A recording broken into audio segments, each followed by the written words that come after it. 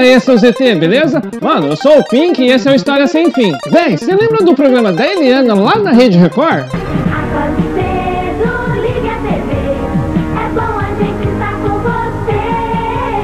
Então, meu velho, hoje eu vou fazer você lembrar aí, cara, de algumas coisas que você talvez tenha esquecido desse programa. Como, por exemplo, o Chiquinho, a Turma da Paquera. É, da Turma da Paquera você lembra, né? Não.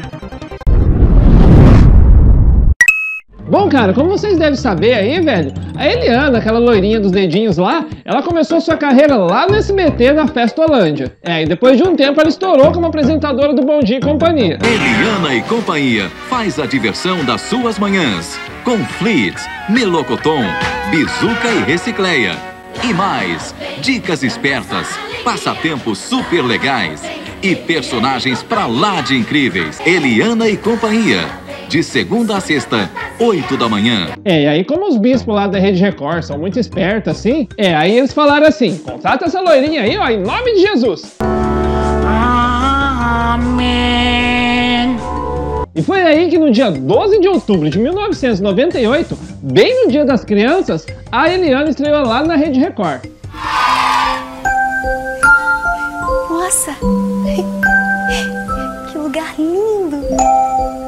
Lugar maravilhoso!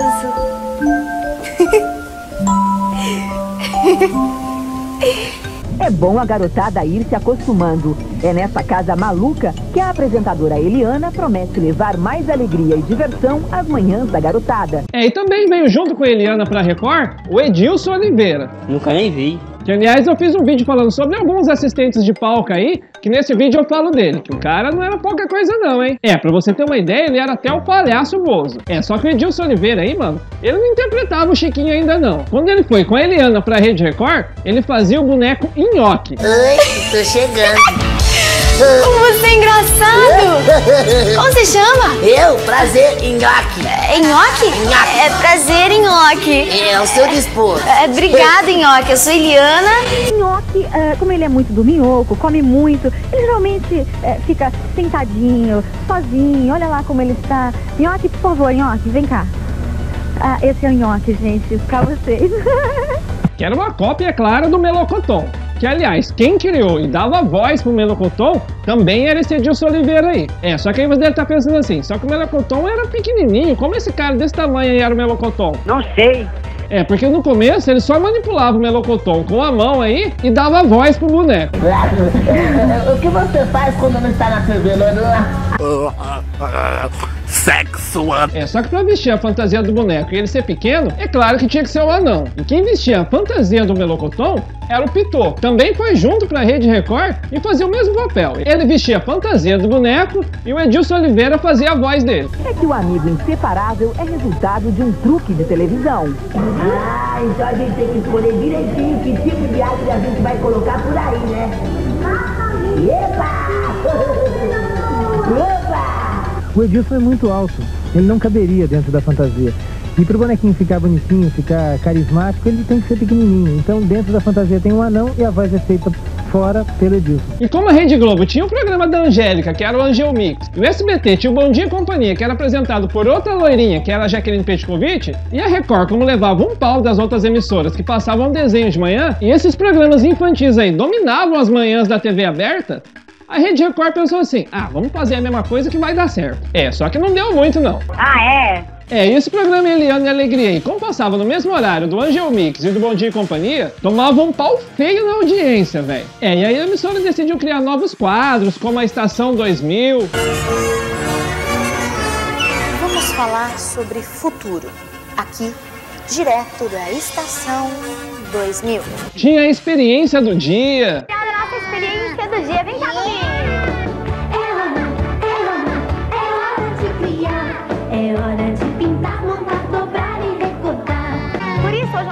Do dia, olha só o que nós vamos precisar para fazer uma cartola linda como essa. Veja você. super pelo planeta. Precisar de papel laminado prata. Criou mais alguns bonecos pra interagir aí, como o Bebê Alegria e a Vovó Alegria. Bom, e a Rede Record tentou criar novas atrações pra tentar chamar a atenção das crianças aí. Foi quando esse Edilson Oliveira aí, relembrando na época que ele era o Bozo, decidiu sair de trás das câmeras e criou o personagem Chiquinho. Tu vê aquele gordo que tá fazendo o programa dele, que é um dos maiores chatos da televisão brasileira? Qual, o Chiquinho? Aquele beijo. Olha, disseram que ele tava por aqui. Eu tô procurando o Chiquinho, mas a gente não encontrou. Vamos dar uma olhada se a gente Ah, acha ele. Vamos dar uma coisa ali, vamos mudar aqui. É, só que não ajudou muito na audiência não, porque enquanto a Rede Record conseguia fazer 3 pontos no Ibope, o Angel Mix, por exemplo, conseguia fazer 12. É, só que aí no ano de 1999, aconteceu uma coisa que salvou o programa da Eliana, que foi a estreia do desenho Pokémon. Pokémon. Estes são os novos astros do desenho animado. Pikachu.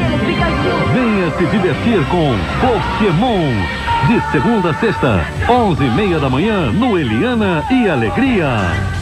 Bom, cara, só que quando a Eliana foi contratada pela Rede Record, ela tinha uma única exigência, que era ela ganhar um programa dominical aí pra uma galera mais adolescente, mais pra família, assim. Foi aí que a Rede Record criou pra Eliana o programa Eliana no Parque.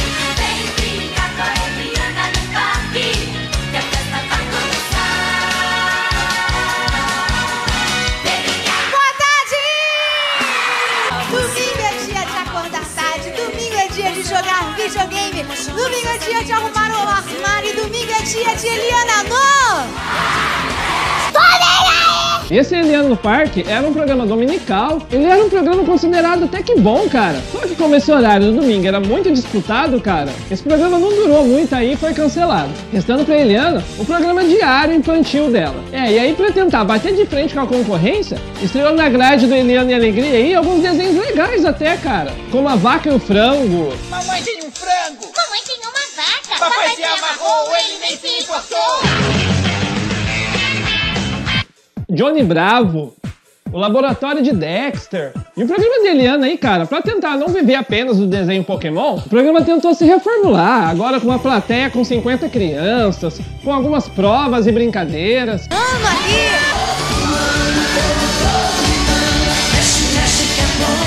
Dos sucessos e um gostoso bate-papo com Zezé de Camargo e Luciano. Fique ligado, a partir das nove da manhã, no Eliana e Alegria. Leiteira. Leiteira, ok. Eletricidade. Lousa. E ganhou alguns novos quadros também, cara, como o plantão da Eliana. Uma notícia para provar que o mundo está de pernas pro ar. Uma notícia que vai deixar as pessoas de cabelo em pé. E o Histórias da Natureza, que era com aquele biólogo Sérgio Rangel. O biólogo Sérgio Rangel mostrou ao público espécies animais de vários tipos: selvagens, exóticos, em risco de extinção ou simplesmente preguiçosos. Que bonitinho, você agora tá trabalhando com o bisólogo? Quem criou esse menino fui eu, filho. Deram uma madeira. Na madeira não pode, tem que se criar com carinho. Agora, o meu faz coisa que o seu não faz, filho. Ah, o seu eu- faz xixi lá. O meu faz xixi ali. É, só que não adiantou muito não, porque esse ano aí, cara, o programa da Eliana foi considerado o pior programa infantil da TV brasileira.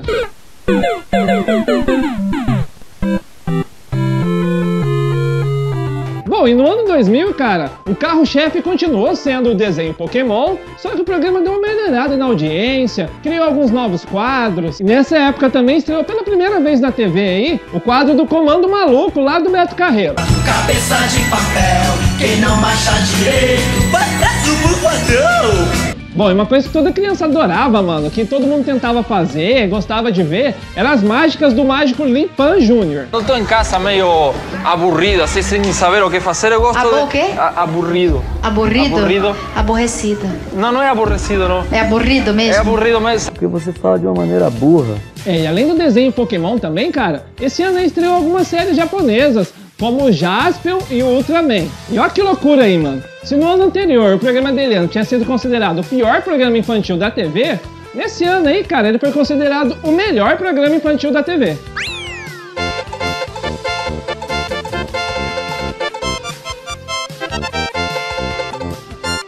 Bom, só que aí com o esgotamento do desenho Pokémon, que a galera já tava de saco cheio já, que aliás ele foi até vendido e começou a ser passado lá na Rede Globo, eles tentaram substituir aí com a Sailor Moon, por exemplo, mas não adiantou muito não. Entenderam? Por que, que eu não posso A partir de segunda-feira você não pode perder estreia Sailor Moon aqui no nosso programa. Vai, vai, dar um recadinho. Sailor Moon. Sailor Moon? É. É, Sailor Tá Moon. vendo aquela esquina ali? Vê se eu tô na esquina. É, só que a Rede Record viu que esse horário da manhã aí, ela tava tomando um pau das outras emissoras aí. Aí em meados de 2002 aí, eles jogaram o programa de Eliana pra ser exibido nas tardes, trocando de lugar com aquele programa chato pra caramba que era o Note a Note. Note e anote.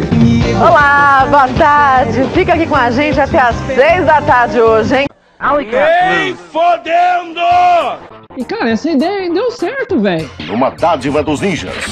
Aí eles reformularam de novo o programa, criaram um novo cenário aí, mano, inspirado na fantástica fábrica de chocolate, que aliás, novo cenário aí custou mais de 200 mil reais pra ser feito. É o quê?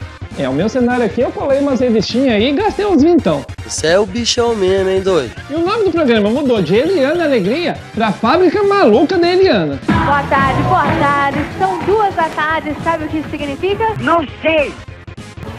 Que na hora que você liga a televisão na nossa fábrica, você só vai curtir muita alegria. Problema seu. É, e foi nessa época que eles tentaram aproveitar a audiência de um público mais juvenil, mais adolescente aí, que na parte da tarde já tinha chegado do colégio, tava em casa. Aí eles criaram, mano, aquele programa Turma da Paquera, quem lembra?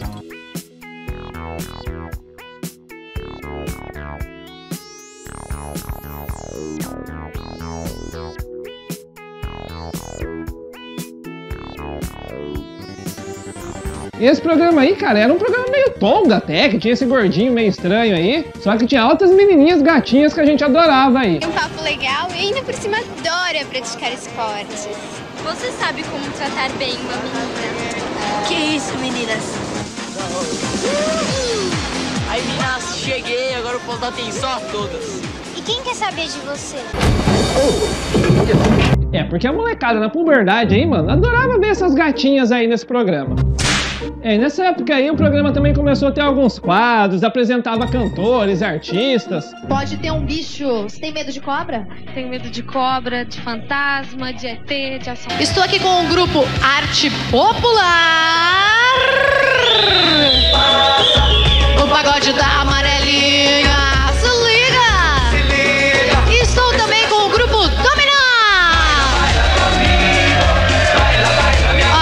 Teve uma temporada aí, mano, que a Eliana e o Chiquinho passaram fazendo viagens pelo mundo aí, apresentando algumas curiosidades que eles encontravam nas viagens. Eliana viajou pelos locais mais lindos e interessantes do Brasil e do mundo, trazendo para seu público fiel imagens absolutamente deslumbrantes.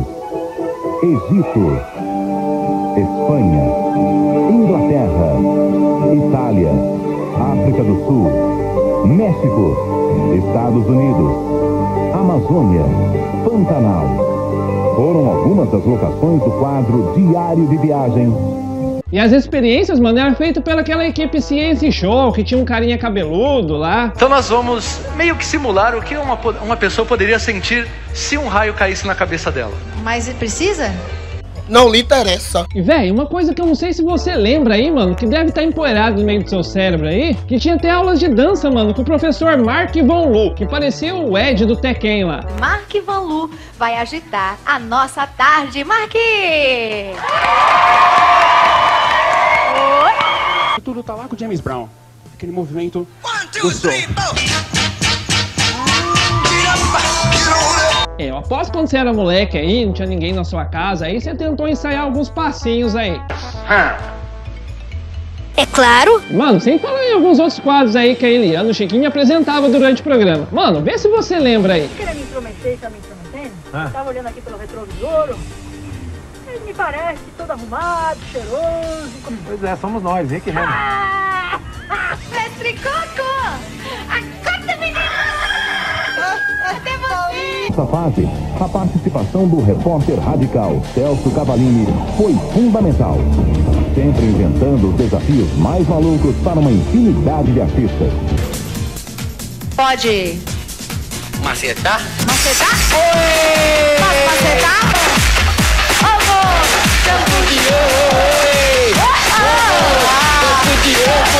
É, cara, só que aí o programa já tava há algum tempo no ar, não tava com aquela audiência toda, e aí a Rede Record tava com outros planos pra Eliana já, de criar um programa pra ela mais voltado pra família, com um público mais adulto. Eu recebi uma proposta da Rede Record para fazer um programa em horário nobre aqui, a partir de março. E véi, você lembra que lá no começo do vídeo eu falei que o programa de Eliana estreou no Dia das Crianças de 1998? Então, cara, também no Dia das Crianças, seis anos depois de ter estreado o programa, Em 12 de outubro de 2004, a Eliana apresentou pela última vez o programa dela nas tardes aí da Rede Record. Obrigada.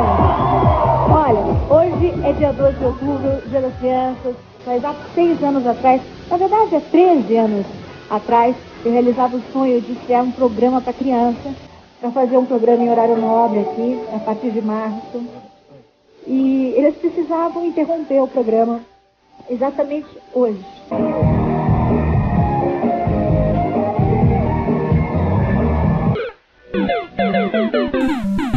Bom, seus ETs, eu tô meio que demorando pra postar os vídeos aí, que eu tô com alguns problemas pessoais aí, o canal tá meio que quase parando aí, velho. Bom, as coisas não tá muito bem aí não, velho, mas vamos levando do jeito que dá, né? É, tá bom. É, que aliás tem muita gente aí que vive reclamando dos áudios dos vídeos aí, cara. Bom, e como eu não tenho um microfone aí, que aliás daqui é um microfone que eu fiz com foninho de ouvido aí pra você ter uma ideia. Ah, isto é coisa de pobre. Bom, mano, e como eu sou meio pobre aí, eu criei uma vaquinha aí, mano, pra poder comprar um microfone decente, pelo menos, né? Que horror, pobre! Que aliás eu acho que não é muito caro, não. Deve ser uns 150 aí. Tem quase 200 mil inscritos aí, cara. Se 200 pessoas der um real, já dá pra comprar um microfone. Então, cara, eu vou deixar o link aqui embaixo aí do Avaquinha Online aí. Quem quiser dar uma força aí, pra pelo menos o áudio sair direito aqui nos meus vídeos, tamo aí, beleza? Bom, mano, eu sempre falei sobre alguns programas infantis aí, mas eu faço um vídeo meio resumido, com uns 4, 5 programas infantis. Então, se você curtiu esse vídeo aqui, mano, falando melhor aí sobre algum programa infantil e tal, e deixa aí nos comentários algum outro programa infantil que você quer que eu fale, como Bambu Luar, TV Cruz, TV Globinho. Deixa aqui nos comentários, beleza?